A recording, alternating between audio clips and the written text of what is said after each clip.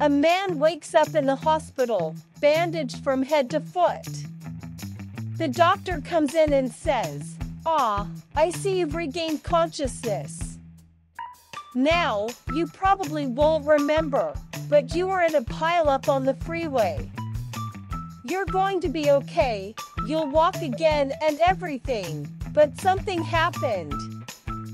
I'm trying to break this gently, but the fact is, your willy was chopped off at a wreck, and we were unable to find it.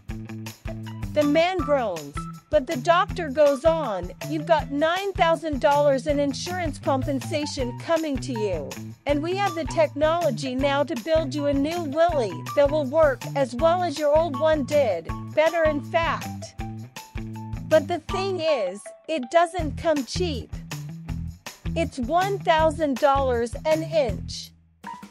The man perks up at this. So, the doctor says, it's for you to decide how many inches you want, but it's something you'd better discuss with your wife. I mean, if you had a 5 inch one before, and you decide to go for a 9 incher, she might be a bit put out. But if you had a 9 inch one before, and you decide only to invest in a 5 incher this time, she might be disappointed. So it's important that she plays a role in helping you make the decision. The man agrees to talk with his wife. The doctor comes back the next day.